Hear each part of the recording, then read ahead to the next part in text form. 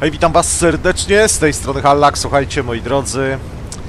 Ha, a oto i typ 59 wersji Gold. Kiedyś yy, wielka to była sensacja, po prostu yy, no jak tylko na serwer chiński ten czołg został wprowadzony, ponieważ taka stylizacja, po, to po pierwsze, po drugie kosztował jakieś niebotyczne y, pieniądze, a po trzecie zarabiał plus 100%, a nie plus 50%.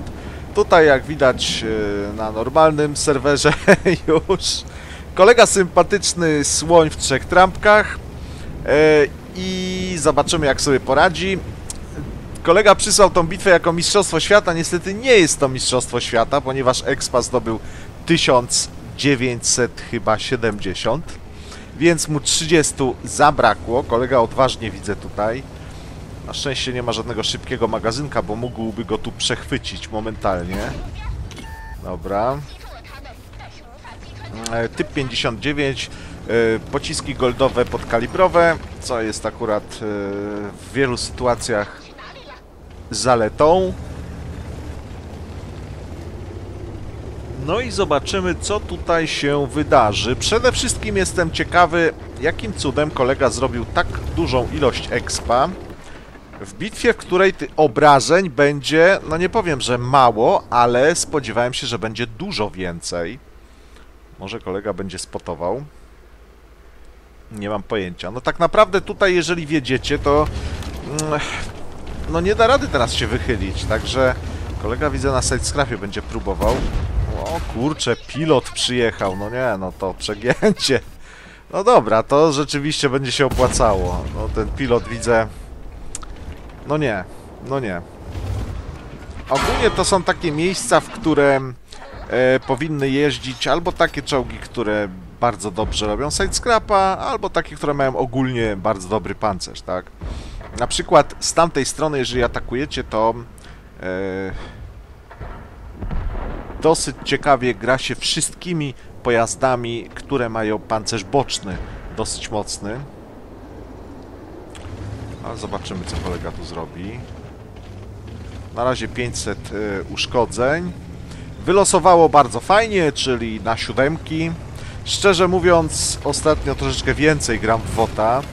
E, ogrywam dwa czołgi właściwie tylko i wyłącznie, czyli Xora oraz y, włoski czołg premium ósmego poziomu. I powiem szczerze, że losowania są tragiczne. No kurka, takich losowań jak tu, co kolega ma, to ja nie widzę w ogóle. Praktycznie.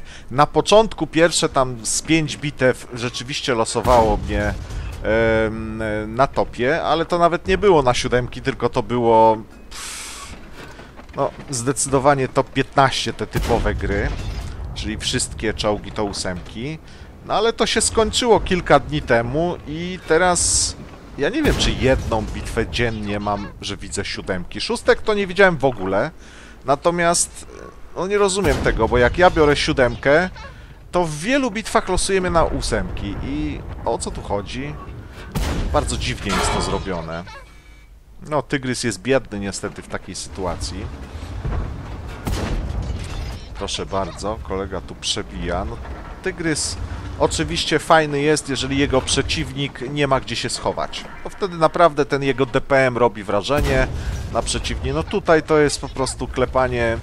E, to takie worki hapsa, tak? Kolega idealnie znalazł tu pozycję, żeby sobie e, w nich strzelać. Oni nie dość, że tu dostają od kolegi, to jeszcze w każdej chwili z boku mogą. O proszę, dziadostwo się odezwało. Odezwało się dziadostwo. No nie wiem, czy tak macie. Nie wiem, czy akurat ten Xor i Bisonte są tak losowane. Tragicznie. E, czy ja mam takiego pecha? No ale kurczę, no...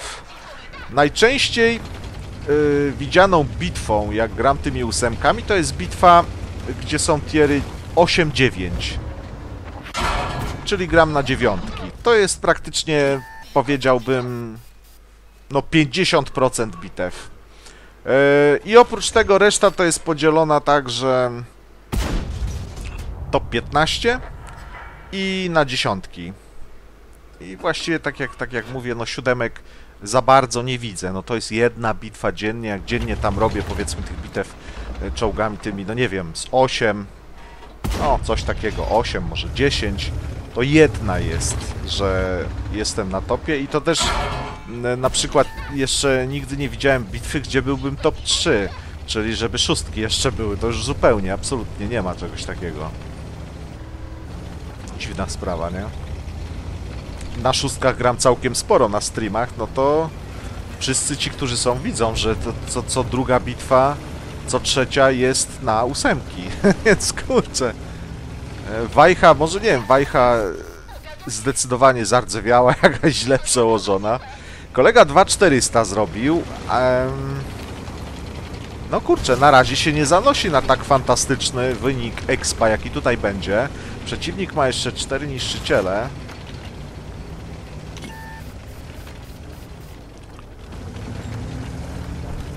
Taki brzydki ten złoty czołg jest. Kurczę, nie wiem jak oni mogli coś takiego do gry wprowadzić. Nie rozumiem tego po prostu. Zamiast wybajerzyć... Tak naprawdę to wszyscy mogą, wszystkie czołgi mogliby robić tak wybajeżone jak te skórki, które tam wygrywamy, prawda? Chociaż tam przesadzają, bo wiadomo, że wymyślili kilka elementów i montują je te przeciwlotnicze na przykład na, na większości pojazdów dużych, no.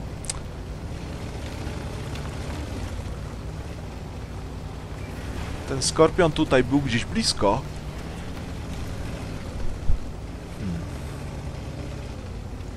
Co do Ksorka, mm, zaczynam się do niego przekonywać coraz mocniej. To jest czołg taki, który na pewno nie będzie ulubionym pojazdem. Wie... O kurde! Pora pojazdem wielu graczy. Natomiast ja lubię takie dziwne czołgi. I Ksorek elegancki. Zresztą Bizonte też bardzo fajny czołg. Ale prędkości w Ksorze brakuje, no i przeładowanie woła o pomstę do nieba, tak? No przeładowanie to jest, kurczę, 40 sekund stoimy bezradnie, żeby cztery pestki się załadowały. Masakra.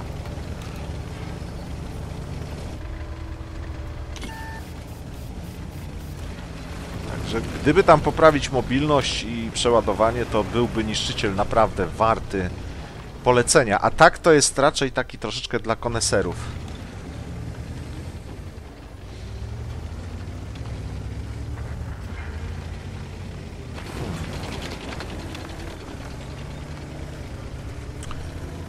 No, czyli paruwa jeszcze została głównie, chociaż Su-152 też potrafi rąbnąć, ale paruwa gdzieś się zamaskowała, nie jest... O, tu jest! On nie gra? A, gra, gra. Kolega nie trafił w garnek.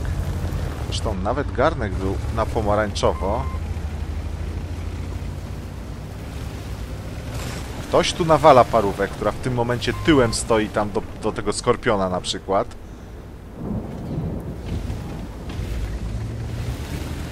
Na razie babok rąbnął, ale Skorpion ma zasięg, wydaje mi się, tutaj na paróweczkę.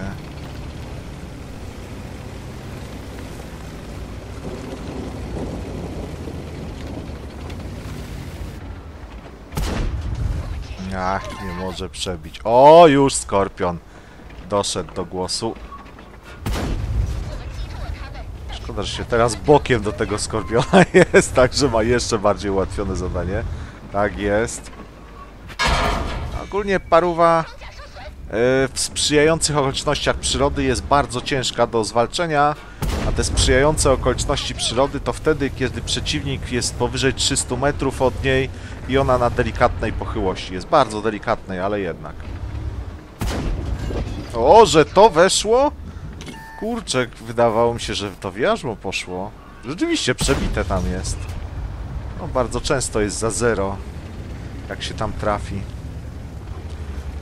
O, koledze się widzę e, nabija asysta. Pewnie asysta będzie miała tutaj bardzo duże znaczenie przy tym expie. No bo już obrażeń do zrobienia nie zostało jakoś za dużo. Ostatni złoty pocisk. Właściwie nie wiadomo po co. Bo akurat te pojazdy, które tu zostały, no to...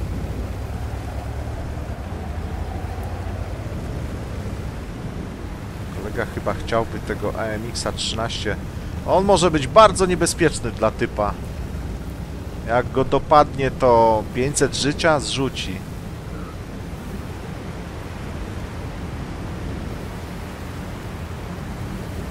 Widzę, że szykuje się troszeczkę bitwa, może przyspieszymy.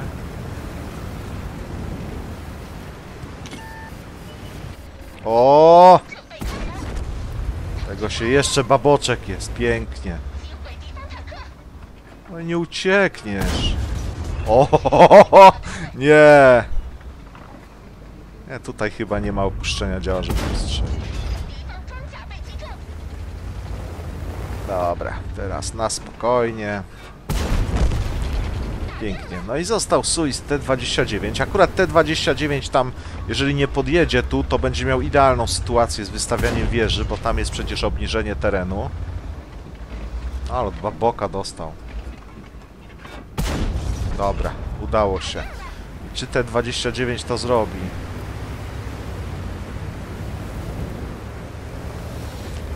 No, można by było się pokusić o objechanie te 29.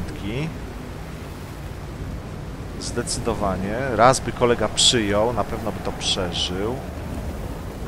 Ale nie ma tu te 29. Myślałem, że tu będzie. Ulala. O kurde! Nie no, gościu bardzo źle zagrał. No niestety. Tutaj miałby szansę jeszcze na wieżę pograć. Zwłaszcza, że widział, iż typek jedzie krzakami. Tak, że babok by go stłamsił, ale... No dobra, taka to była bitwa. A tutaj, moi drodzy, wyniki, czyli MK, wiadomo, i kolega e, służbę patrolową dostał 3870 uszkodzeń. Dlatego właśnie nie zalogowano się. No i co, że się nie zalogowano? Dlatego właśnie mnie to zdziwiło, że tu jest taki X 1971, ale jak widać kolega jeszcze zrobił 3267 asysty, do tego 7 fragów i to pewnie dlatego. Zarobek za tą bitwę brutto 200 tysięcy, no ale poszło 50 tysięcy na amunicję, e, jak widać. Nie jest to Mistrzostwo Świata, ale bitwa interesująca, zwłaszcza, że no naprawdę 3800 nastrzelanych uszkodzeń to nie jest tak dużo. A taki exp raczej by sugerował 5,5 tysiąca. Ale tu asysta widocznie bardzo mocno się liczy. Dobrze, to tyle. Żegnam się z Wami i do usłyszenia.